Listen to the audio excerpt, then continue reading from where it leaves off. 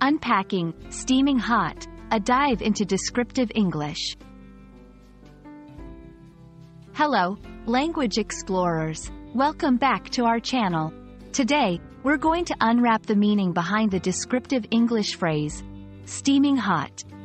It's a term you might encounter in daily conversations, literature, or even on menu descriptions. Let's get ready to turn up the heat on your English vocabulary. When we say something is steaming hot, we're using a metaphor that paints a vivid picture. It means that an item is so hot that steam is rising from it. The steam can be seen as a visual representation of the heat, indicating that the object, often food or liquid, is fresh and very hot. This phrase taps into our sensory experience, combining sight and touch, feeling the heat, to describe temperature. Let's look at how to incorporate steaming hot into sentences. This phrase is versatile and can be used in various contexts. For example, she poured the steaming hot water into the cup for her tea. He could see the steaming hot pie just taken out of the oven. The bath was steaming hot, perfect for a cold winter day.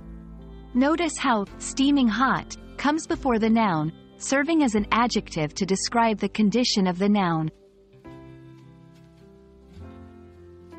Expanding your vocabulary is always a win.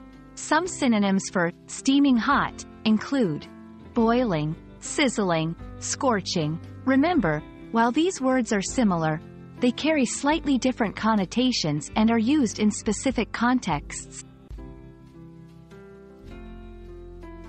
And that's the scoop on steaming hot. I hope this video has warmed up your understanding of this descriptive phrase. If you're enjoying our content, don't forget to like, share, and subscribe for more language learning tips.